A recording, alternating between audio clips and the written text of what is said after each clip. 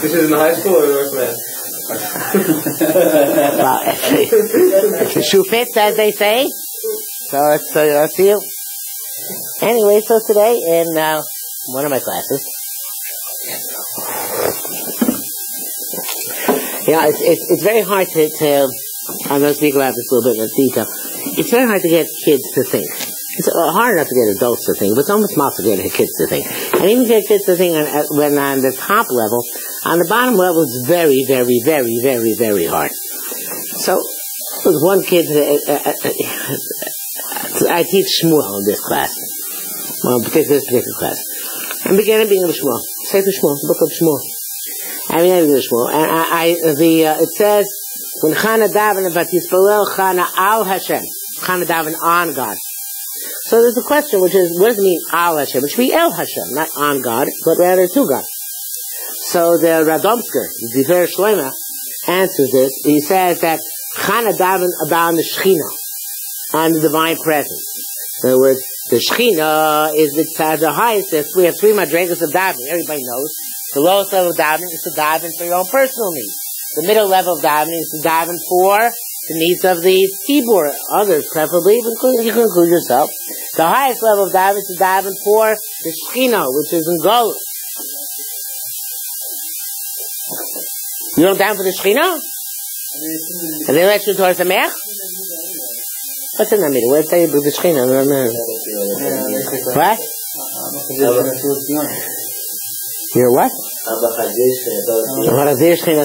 It doesn't say there that, that you, the Shechina is in Tzar. You're supposed to the Shechina because the Shechina is in Tzar. Yeah, it sounds like I want the Shechina to come in. It sounds like the third coming in, an entity in itself. It does. It's very dangerous. So I explained to them, you know, in Kabbalah, there's masculine and feminine. Kabbalah is not the same thing as male and female in gender. Masculine means giving, feminine means receiving. There's an aspect of our relationship with God which is most of it is masculine in the sense that most of it is God gives us. There's an aspect which is feminine, which is that God receives from us, and that's the Shechina, and the amount to which Hashem can relate to us. As it says, Hashem Tzilch, Hashem has to reflect our attitude towards Him, and therefore the Shechina isn't Golos as long as we're in Golos. The Shechina, the revelation of God's uh, relationship with us, cannot be manifest as long as we're in Golos. So, so to speak, the Shechina isn't Tsar. Hashem is in Tsar. Yeah, so to speak. Again, we don't have, can't define Hashem emotionally, but to bring these matters as close to understanding as possible, the Shekhinah is an anguish that it can't relate to us directly. So, by the way, if I said this and I was a Chadian, and I believe it was, you know, I'd be, I've just lost my portion of the world to come. You know that, right? Uh, the Chadians believe that to ascribe any emotions to Hashem is heresy. We, we discussed the Chadians, haven't we? The Alien race. What? The alien race, yes. The alien race are Maimonideans. There is, yeah, the ones in Farakla, yeah, yeah. What? No, no, they're Maimonideans. They believe that Judaism stopped with the Rambam. And then any further developments were non-developments. And they believe that the Rambam holds that any, if any, any, anybody ascribes any emotion to God, that person is, is consigned not to hell! That wouldn't be so bad. To oblivion. They cease to exist. They go poof, and they cease to exist after they die. So the, um, Do they have a happy religion, Robert? what? Do they have a happy religion? No, they, they manage to differentiate religion and happiness. Religion is religion, and happiness can be, you know, you're playing ball. They still hold the majority. What? Three majority.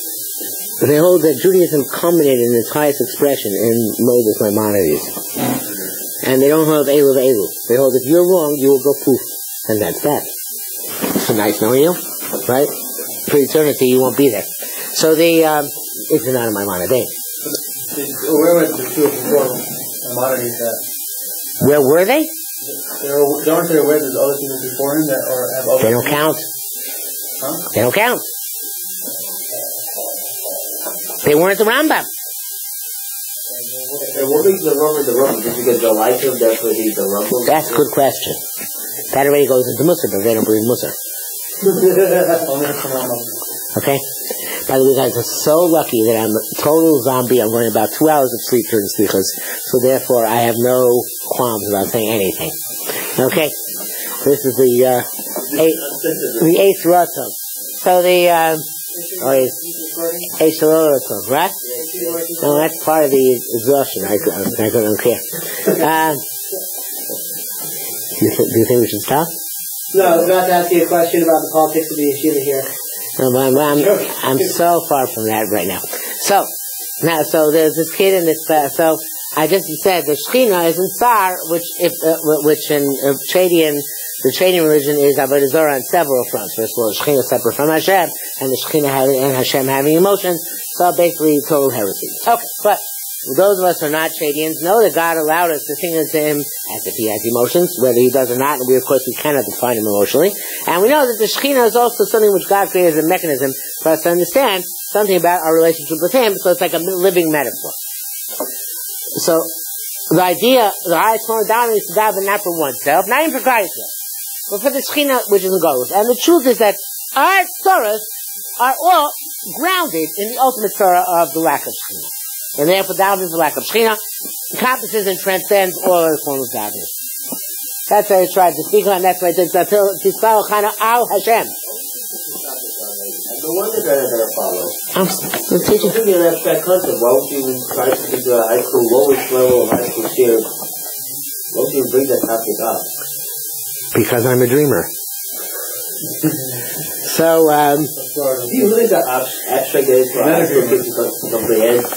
Yeah, it takes two hours to take it. yeah, if you only have two seats, I think you can understand much better. So, anyway, so there's one guy in the back of the class. So I said, I stopped. I said, listen, you guys didn't believe in God. So, so, one guy, so some guy says, says, so yeah, some guy says no, says, yeah, some guy come back to says, I love God. So I said, why do you love God? Because two years ago he gave me a GameCube. So, Reasons to love God. So, so I asked him, how long did it take God to give you the GameCube? In other words, how long are you asking God for the GameCube? He said four years. So, he got two years ago, he was asking four years. I said, okay, there's a problem here. Do you really love God if it took him four years to give you a GameCube? I mean, he messed you up for those four years. Granted, you had two years of bliss, but where are those four years? And then I said, how do you think God loved you if he gave you something which is totally destructive for you? A GameCube wastes time, wastes the, whatever little thought a person has. I understand it's, it's quite violent, right? Those guys in the class are saying it was violent. I don't know. Huh? Uh, so, yeah. so the uh, somebody was saying that, somebody said this guy loves killing people. So uh, maybe it's different than. So um, so he, he he couldn't wrap his head around that. That God, if God did give him the GameCube, and that's why he believes there's a God, because there is a God who must love him because he gave him the GameCube. In reality, he's loving a God who really must hate him because God is giving him a tool for complete, total self-destruction. Now, in the right circumstances, I think that can actually get get, get somebody's thought process kicking. Uh, no? He, he looks at it as good. He doesn't look at the GameCube as bad. Even if you tell him, he's not going to think it's bad. He loves it so much. I think he did. He was he was jarred a bit. So not enough that he's going to go home and start thinking, "Wow, you know, is my life meaningless? Should I have to jump off the bridge? Not jump off the bridge?" I don't think we're getting that far, but uh, I think that um, I think that uh, there, that that's that was my attempt in that. Um, I don't know, but yeah, you see, the thing is like this. I use the the shotgun approach always in these things, meaning that a shotgun shoots. Your machine gun is also a similar idea. A shotgun shoots numerous rounds at once, hoping that one will hit. Right. So that's why I keep going throughout the year. I do that here too. You've always seen that, right? Just scattering random, random comments. Maybe actually one of them will penetrate, you know, sink in and have some meaning. So, uh, scattershot approach. That's what it's called. So I can't can't know if anything will have will have an impact or not. But like I was talking to them, I said, I feel really bad for you guys because your davening is basically meaningless. Just 14, Robert. So I said, they said, so they said, they said to me, who says that davening is meaningless? I said, you told me yesterday davening is meaningless. And they said, no, that was yesterday. Today was different.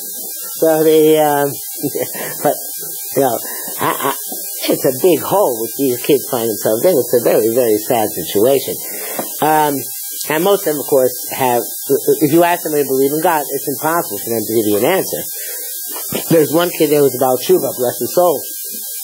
And he actually has some notion. He really, he hasn't been long, long in that class. But, um, sorry? What's going to happen? I had a friend who became about Shuba 13. People used to once think, do you know that? They went, they what? People once upon a time used to actually think about things.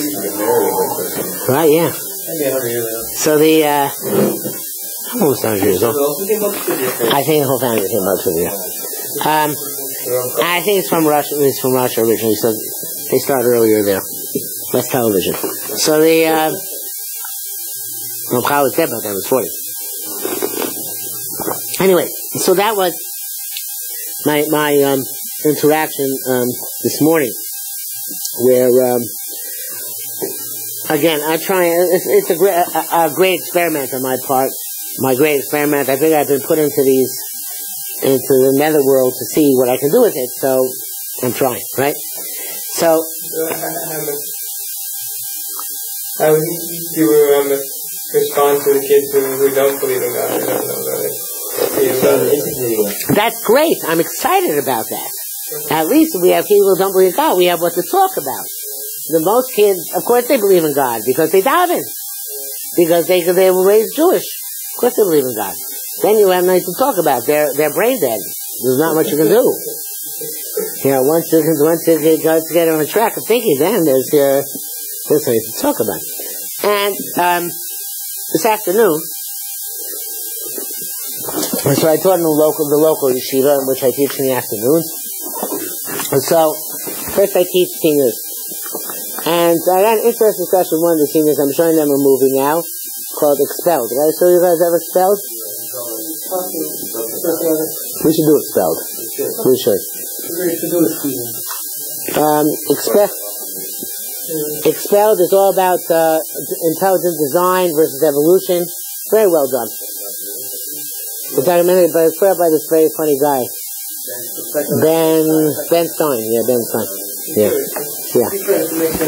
So, Okay, so the um, so so actually, uh, they got into an interesting argument with me. This is a fair argument, which is that um, I mean, it's a classic argument. They just don't realize how absurd it is. If if there's a million, billion, trillion, quillion, quintillion chance that something can happen, so can happen. So that's what happens, right? So it's hard for them to wrap, even these bright kids, hard to wrap their idea around the notion that things which have a billion, quintillion, chance of happening don't happen.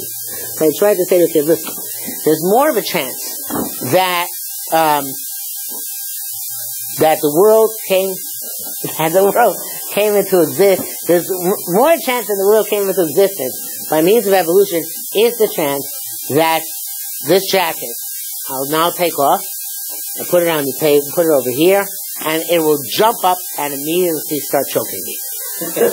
right? Now, they said, the kid said, the kid said, that's not going to happen. It's impossible. Right? I said, no, there's much more of a chance of this immediately getting the molecules in here ready. All the molecules can get together. They can all get up and they're ready sleeves. They can put their, the, the molecules can get together and, you know, they can push the sleeve so the sleeve jumps up and the sleeves go around my throat and start choking me, right? They can. There's much more of a chance than that than when there's not even molecules that they're actually going to form the cells and the DNA and all those things which are going to happen. So, the, but the kids, the, there's a mistake in understanding statistics. You think if there's a chance something happens, then it's going to happen. It's not true. Actually, as, the longer something doesn't happen, doesn't make it more likely that it's going to happen, makes it less likely that it's going to happen. Reverse reverse of the game of the fallacy if you think that, that, that if you're at a roulette table and you see black come up, that you think there's more of a chance that red's going to come up, and that's actually not true. Right. 50 chance Right. black or red's going to come Right. Uh, It's only in a limited sampling that, that, that the chances can improve, but not in an infinite sampling. So, um, When would, when would the number going to university? What possibility is university? what do you mean? Like, say, if it was one out of a billion, would that be considered or not? It's not infinity, it's one out of a million. One million relatively good chances relative to the uh, re- odds that you're willing to be lo- winning the lottery, right? Yeah. So, um, So it's just the big number would very infinity type number. It doesn't. there's no big number. Yeah. Even one in a million is not a good, is not really a chance. It's that in the lottery, the way it works, somebody has to win. It's a finite, it's a finite sampling, right? So the, um, so the, so that, so we had all discussion about this, and the whole old Rav Noach Weinberger thing, be a judge, Weinberg not be a judge, not a lawyer. This whole new concept for these guys because? The. Not just at the from, but the yeshiva system, as I said to them, the yeshiva system tra- trains us to be lawyers, right? We argue with our rabbein, we argue with ourselves, we argue with the, the Rashi. That's the way we're supposed to learn. We're supposed to argue with everybody. And we're supposed to defend our positions, even though they might be absurd. Because through argumentation, that's how we accomplish understanding. So of course, it's very hard for something like that to ever actually come to think about something objectively. It's a big problem. Okay, that was class number two. Now, class number three today, which was, fascinating, was the last class I gave. So I started teaching, this last class I gave is called Global History. I speak, did I talk to you about this? What? Historical history. So yesterday was really horrendous. So today I, I, I figured out finally, was finally, hey, Bechhofer, you're an idiot. Go to your old mainstay. When in doubt, no, no, what I do in, in other schools. No. That's, that's what I'm really have to think. What? No. that I do all the time. Use movies. So I got a, I got a movie about the Nile, for, for, for the, for, for the next section, section already, about the Nile River. So, uh, as they're watching the movie about the Nile River, I started writing questions to the board. I wanted them to answer tomorrow in a, in a quiz. And they got so flustered and so, so annoyed and so incapable of dealing, which was so much fun to watch. When like, uh, I wrote, the, the, the, the movie said that the, the, the natives perceived the Nile River as having moods. You know what it was, a lot of water, a little bit of water. So of board questions, how could the fact that the river is perceived as having moods lead people to be over the Now, they, they were totally discombobulated by the question.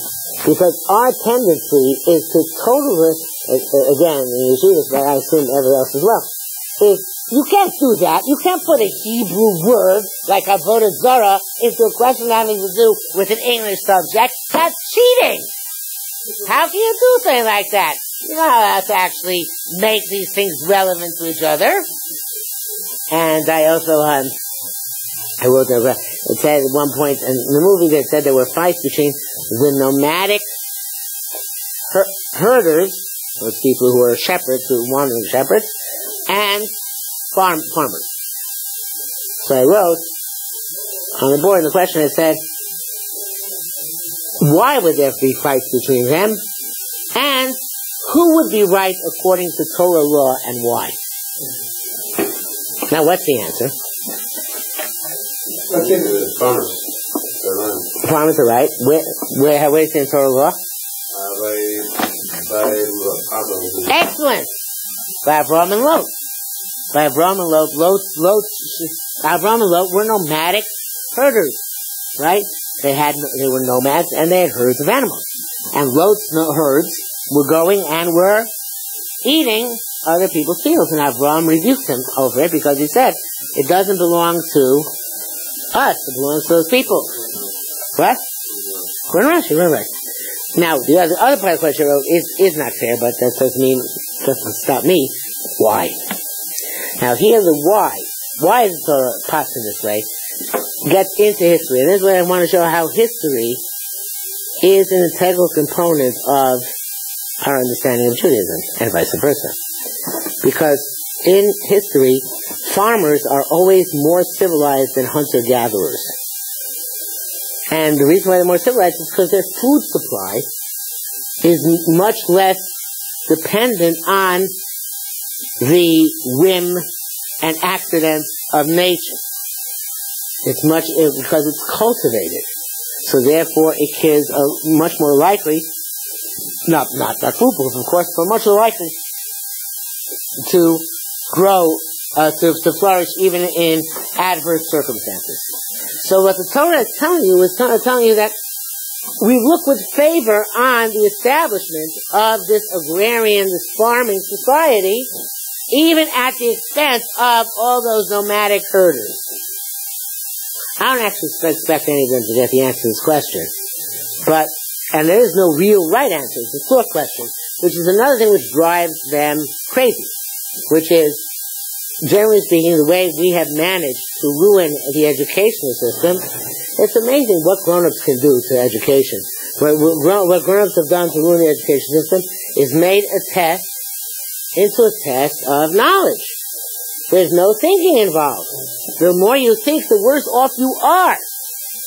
The moment you ask them a thought question, they go crazy. They can't deal with that. They, they don't know the answer.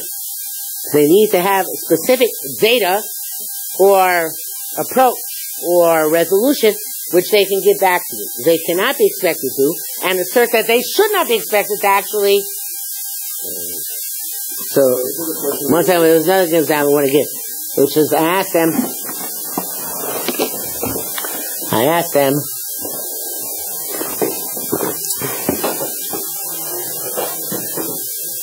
in the movie it said that when they were trying to find the sources of the Nile River, so it took many hundreds of years to find it. So I asked them, and many people were, the, the, the kill was very dangerous.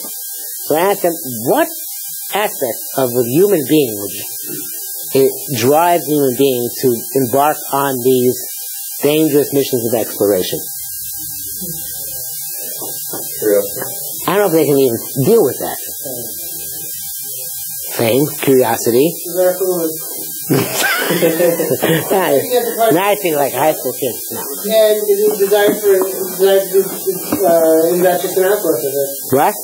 Curiosity, improving and learning things Curiosity, but curiosity itself has to do with the very core nature of human beings. The core nature of human beings is questing. Purpose, meaning, and exploration gives life meaning. Even if it's in the end, you're going down to Africa to explore to Tanzania and you get killed by pygmies. Right? But what did you, what did you accomplish? We knew about Tanzania and you got killed by pygmies too. You're an idiot, right? No, life was meaningful. As that arrow, that, as that poison arrow penetrates your body, you can think to yourself, I was involved in the quest. Right? Now, the quests, from our perspective, are foolish, but quests are quests. They are cool things. They are significant. They make people feel significant. What a question? So the, um, so then, there was, um, Well, he asked me to comment about the source. wait, one second, another little question. There was a, uh, in the movie, they, they, they said that one of, the, one of the big explorations of the 19th century was the quest to find the source of the Nile River. So they said that there were uh, there was uh, there, there are ancient legends that there were mountains of snow from which the, the Nile came, but nobody ever seen these mountains of snow. So they doubted their existence until surprise they found them. So I asked them, what does knowledge of the ancients ancients indicate concerning the concept of Masorah? They made no more than we do. What? They made no more than we do. Ancient, that means that ancient accounts are not just based, if they're passed on, are very often based on significant sources or issues which existed. Now, that in itself is just a small minor point. Doesn't have to be true. What? But it can. You could have, there could have been travels that observe the same, the same, uh, system of snow mountains and rivers in other areas. Sorry? I'm saying that there are people that could observe the same thing in other areas of snow mountains producing rivers. No, of course, uh, the notion, the, the, the, the only evidence in the concept, but the tradition preserves truth. Right? Like the Bible, where there are multiple stories, Gilgamesh, and so on. Right. Mm-hmm. Then, then you have stuff like Atlantis, where people think something that's like absolutely taken from something Who thought Atlantis existed? You know, a lot of people actually thought it was. No, the, the same people think that they didn't, that's, that's, thing. you see? Do you believe the astronauts got to the moon? Okay. So the same people, close on there. The, uh, so the same people who believe that astronauts didn't get to the moon, they believe there's Atlantis. Well, I didn't get to the that's the move. Right? You don't believe it is? Of course I believe they did. I'm not a conspiracy theorist, but you, the, haven't? I am. Yeah, yeah, yeah. What? Are you talking what? I'm always suspicious of ardent Republicans.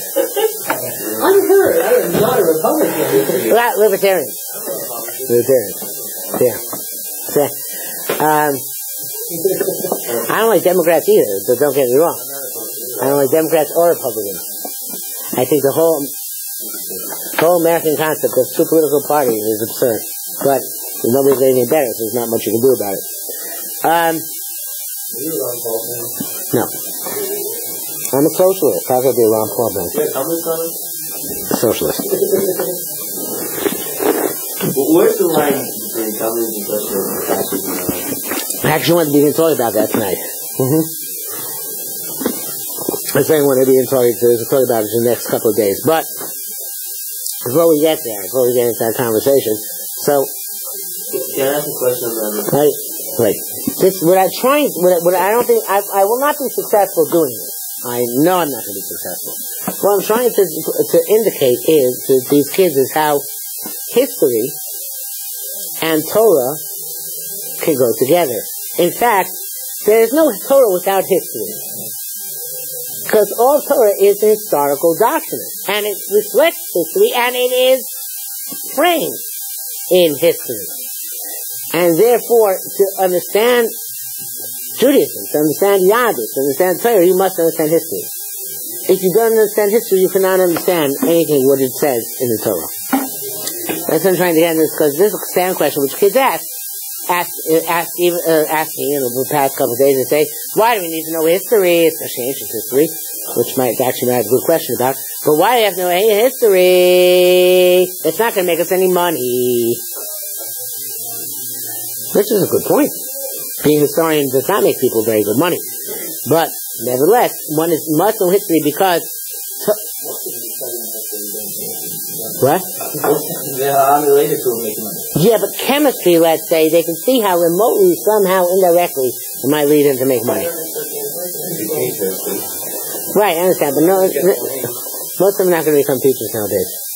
So, so we don't listen to music sometimes? Gonna get the money, right? What? If you listen to music, watch a movie, No, they make money to listen to music. Or they make money with, then don't spend on the music. yeah, well, trying to hear it. What? So, look, in, any event, I, I, I know that my lifelong love of history comes from having had a good ninth grade history teacher. Actually made history exciting for me. I don't know if I'm able to do that myself, especially not for this crowd, but these are the things I've been trying past the, over the past couple of days. Yeah. Another question with regards what making people think. So the problem would be when you have a standardized question, and something that's true or false question, something more specific question, the person can be stuck in thinking what is the question actually in the first place, because many of the times you don't know, don't know it's the right question, know, it's ambiguous thing. When you are start, when you actually start thinking about questions, and you go to the professor, the professor you, just don't think about it. Just give me the answer, don't think about it too much. So how would you be able to challenge? That's why the Regents, the Regents in the state of New York are a blessing and a curse. They're a blessing because there is a Regents curriculum which means to come, come out of, co- It's very hard to come out of college a complete and total nitwit. You become not only partially nitwitted, or wit, but the um, The other state doesn't have a problem with that. what? The other state doesn't have a problem with that. They don't have good things. They have other equivalencies. Oh, they do? Yeah. Yeah, I think a lot of them do have problems though. They do. The, the, the flaw in the Regents is that it's inaccurate history. Anything which is in a, any textbook, this is the story. Any textbook is inaccurate. Yeah. Yeah. What is accurate history? What's that? I'm comment that question first. Comment. Um, I, I think that kids like thinking, but I think that because there, there, there's such, such a, a focus on grades and marks, that the only way you can you, you can give a mark, you know, is if you have a specific question, a specific answer that you memorize. Um, and and I also, um, Right, that's how the system puts kids into autopilot. Right. But I think kids like thinking. It's what for that. Like if you're just thinking for no grades, then you're fine. I don't know. But uh, what what is it, the the Torah before creation like the Torah like we have, or was it like if the story if history came out differently, would it be different? Well, you know what the Gra says in the last eight, eight psukim in the Torah? Says that Yoshua wrote them, the Dema. So the n- normally the translated is mixed up. He didn't write those in order because the events hadn't happened yet. But the way uh, the Chazal tells is that the Dema means he, ma- he wrote them mixed up, like Trum Medumas. Trum which is mixed into other um, substances. And um, the reason, the, reason the the Kliyaka, I believe is what it says that. he- The reason he says it that way is because he's trying to tell us that um,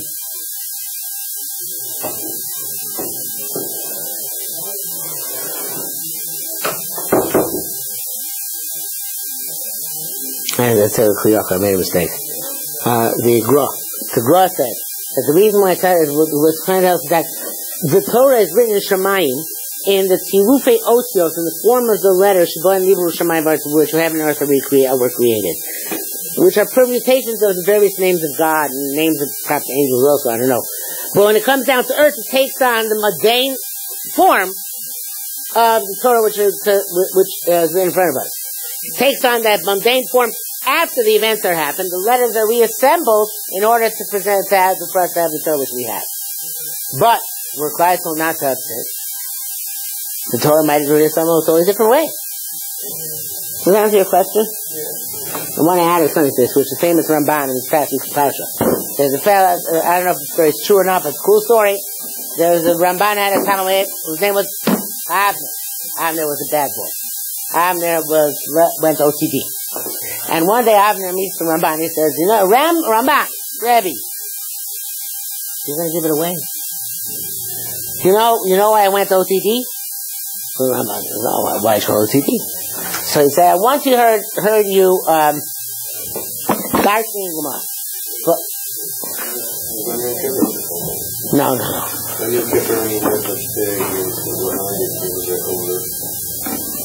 Different story then. That's not the story I'm about though. You want equal time, I'll let you tell your story. But, um, I don't mind.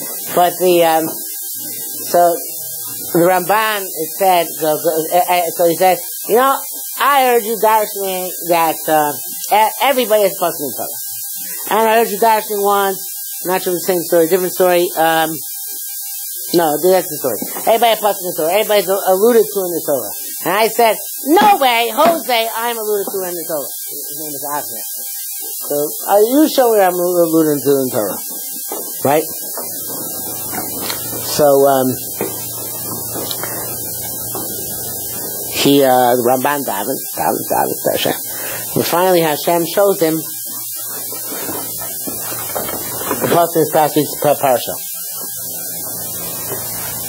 Oh, my pen is leaking. Shucks. Guys, you know, you gotta tell me when you see my pen leaking. Looks I bad. didn't see the stem. There was a, What? Looks bad on the camera. Okay, I have this open by mistake. the stem there was talking. I apologize. Okay, the uh, it says it says the last instruction it says Amarti Afehem Ashbisa May Enosh Zichram. I said I will deal with them my hanger. I will eliminate from among people their their memory. So he said.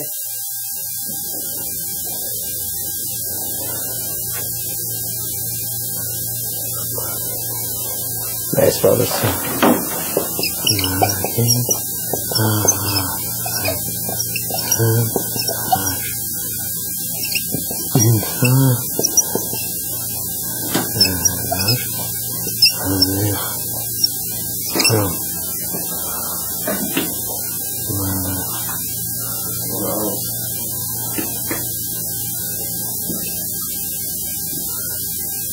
Think the second was written with three olives.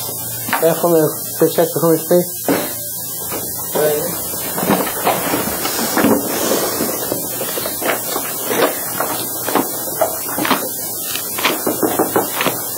This there in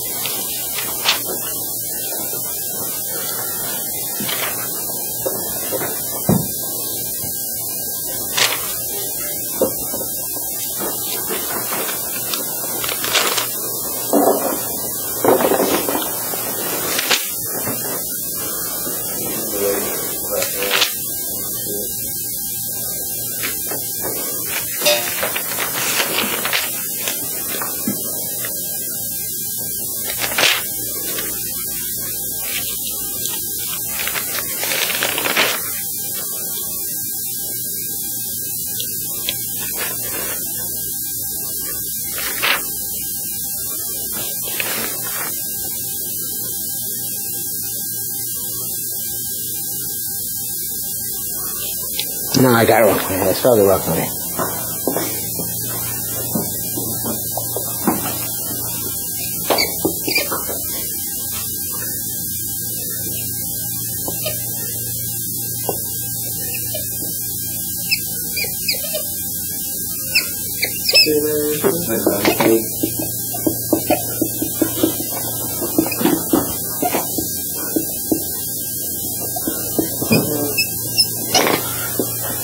Got it?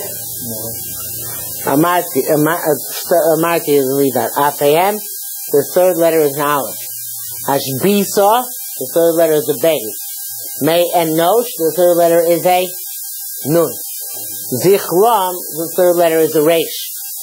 Aleph, base, nun, resh, Avner.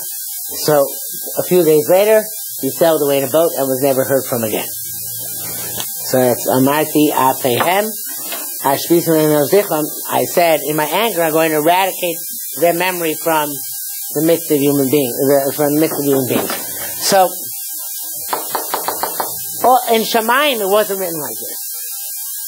In Shemaim, it's not. It's, it's written in what looks less like mumbo jumbo, like mixed up. That's what the Gemara is saying about the last eight letters. When when Yeshua received, when Moshe received them from Hashem, he received them mixed up because the events hadn't happened yet when the Torah came into actual decoding, so to speak, that's when it was written out in the form we have it today. If it was the same number of letters as are, the same exact letters. Yeah, but we lost letters along the way. The, re- re- the, the very famous Mar, famous Mar, it's famous again because I know it, which Reb, which where Rebbe Le- where uh, Rebbe was very was very pure, poor. It's actually Mishnah Beit Elvis. And he says to Hashem, listen, as he says in the, in the fill on the, Fiddler on the Roof, would it, would it something, my, would it something flow from heavenly plan if I were a wealthy man? Right? So Elizabeth Hashem says, would it spell some heavenly, would it spell some heavenly plan if I were a wealthy man? So Elizabeth Hashem says to he says, Elizabeth, with Tzolcha, do you want a focha om kulo tova it means I was upside down start from scratch. Lies? Maybe you'll come out with man oisher at a time, you come out of time of riches. So Rav Dessler goes bonkers on this. He says, what do you mean, Ula? You're God! Make sure when you make it next time around, that you make him rich. So Rav Dessler says, there's no, everybody has their own model, their own flow of circumstances, which is tailor-made and customary for their nation. And it could be that if the things that the laws are being wrong over again, the next time brings also have to, going to have to be poor. Because his character, his time, his place was a place of poverty. Maybe yes, maybe no. It depends on, on what the situation is then. That's why Hashem says, Ulai, maybe. So, oh, one second. All these things are embedded in the Torah. They're embedded in an even more obscure way in the Tiruf Osios, the, the, the, the, formations of the letters with which heavens and earth are created. They're, uh, uh, they're, they, they're, uh, uh, they're embedded in also a less obscure way, which is this way, which for us is also obscure. Right? And they're embedded in an even less obscure way in Torah Sheb'al Peh. Because Torah Sheb'al Peh is something which we generate. So therefore we have complete access to it. We have to, we have to base on the principle. So Yeah. Prayer cannot change things. What? Prayer is the one that can change what. Prayer can change anything. But you couldn't change other like that, then it takes heart attack, it wouldn't change that. That's true. So that's right about that too. But, but uh, I'm, I'm, I'm digressing before I answer your question. That's right. He says,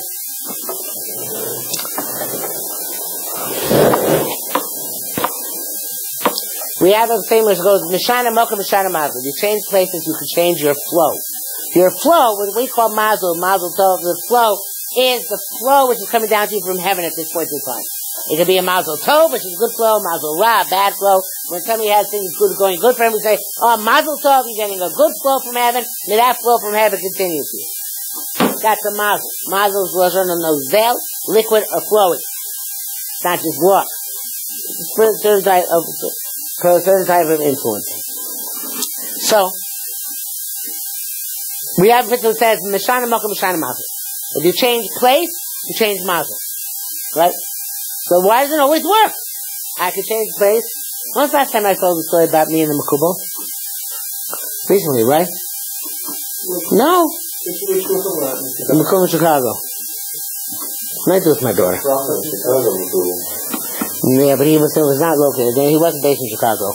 No Makubal. It's, it's all over the country. It's probably in California. No Makubal.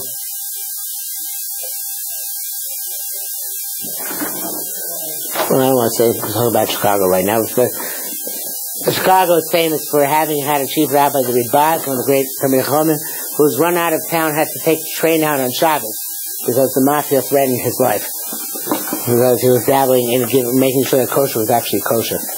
So that's the beautiful history we have behind us in Chicago. Anyway, so there was this a traveling itinerant uh, Makubal who came from someplace who remained, na- uh, remained nameless. So someone, one of my friends told me he's the real guy. You have to go see him. He's the real guy. He's real Makubal. What? So Story of life. The story of life. the story I told the story online. Oh, oh. Which one? I didn't hear oh, so why am I repeating it? I asked if anybody heard it. You were just, What I spoil from vast eternal planning. what? No, Vast eternal planning. that's that's where where it goes. But the answer is yes, it might. Right? But anyway, so I went to. I so I, here I was, you know, a young. I a young whippersnapper, and I was learning Yerushalmi, and I was learning Kabbalah. That's been quite, quite, quite, you know, oh, I'm going to meet a real, real, real uh, going to meet a real live Makubas, going to tell me the secrets of the universe and how I can succeed and give me a book, learn Yerushalmi. Anyway, when I came, they started, she told me, so, started giving me the regular buckets. You should have, the kids should be healthy, wealthy, you should have, uh, nachas ruach, you should make a lot of money. And I saw there was a, this was a disconnect here. I didn't care about all that. Right? The heck with the kids. I wanted to learn and teach Yerushalmi, and I wanted to be Machadish Torah, and I wanted to know the secrets of the Torah.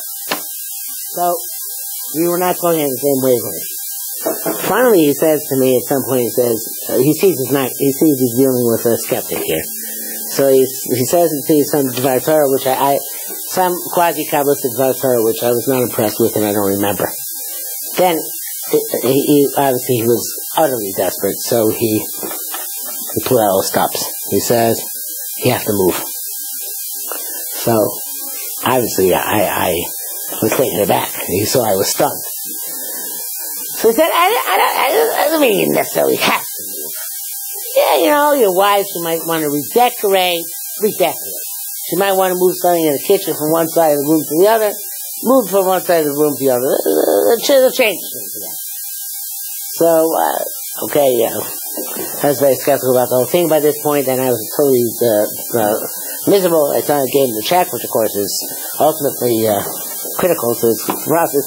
And, I, I, I gave him 36, that's all. Yeah, I, I decided he doesn't deserve more than that.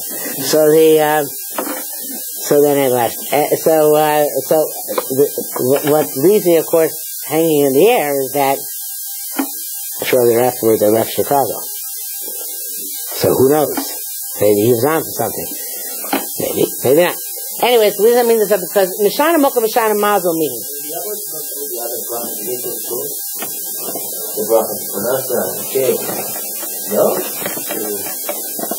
here I am working four jobs. That's for Nasa. There are people that have no job. really good. Yeah. Wait, wait, wait, wait. Rabbi, you, you know the famous rabbi who said once that everybody brings high, high stuff. He would rather prefer that everybody would, would watch. Mace. yeah. Mace dollars. Yeah. So the, uh, so anyway, so, so what I wanted to say is that, I don't want to say, um, Quasi. Chicago. uh, Makubal. Muslim, Muslim, Muslim. Not right. So Mishana Makom Mishana Mazel. It says you change, the, the places you'll change your Mazel. It's not just magic. What? It's not just uh. Anything which, which is done by a something which can be, can, can be defined as a prayer. It's not necessarily, it won't be considered magic. Lots of times. If the Makubal knows how to dive into Hashem and get things he wants.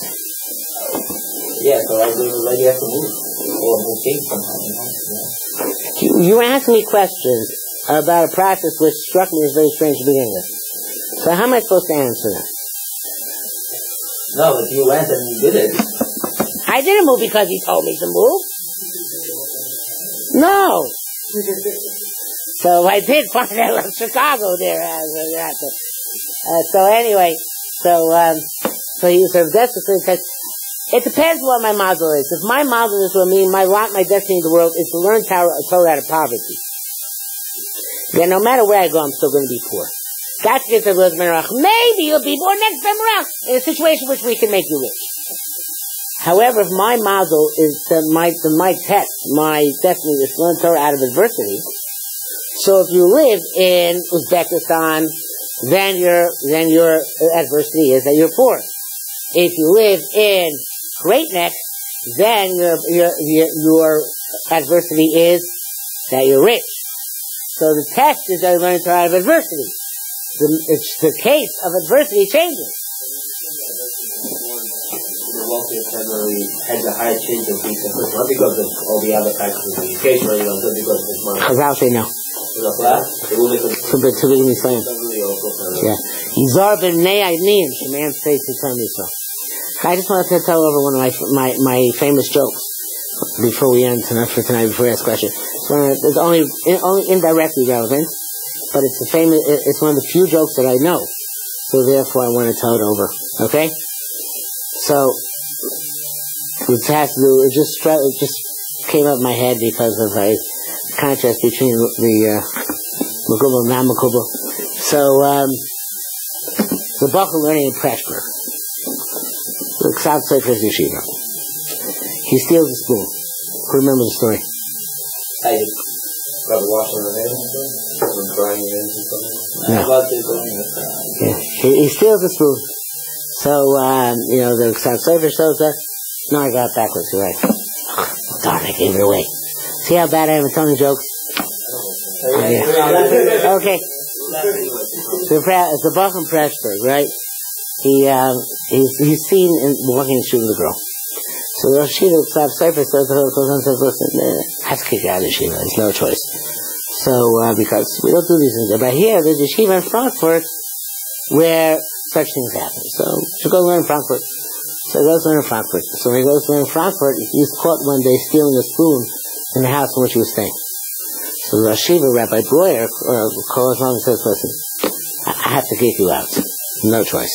But you sure I'm not kicking out because you stole the spoon. I'm kicking out, kicking out because you're an idiot and you'll never become a Talmid Chacham. What's my evidence? Were you to have stole the spoon in Pressburg and walked with the girl in Frankfurt, nobody would have cared. Everything would have been fine. But you're, you're stupid. You wa- walked with the girl in Pressburg and stole the spoon, the spoon in Frankfurt. So you can never, never be a Talmid Chacham and I'm just giving up on you now. Anyway, I was going to ask. I don't know if it's true. Know. That's wait, but uh, there was there was there was the issue person was not did not care to be going on with girl? No. No? They weren't they, was there somebody here or was there Yeah, somebody yes, I am, but there was not that, yeah. Um, well, how come how come your uh, Panasas read calculated every year if it's kind of based on uh, It's a good question, but maybe we'll talk about tomorrow night. We really recalculate every day. really? Yeah. We talk about that tomorrow night because I have to go, I have to go tonight. It's like my GPS every five minutes. yes, actually, it's, uh, it is like that. So, I, I, I actually compiled some McClamis on that, so I'll see you about tomorrow night, okay?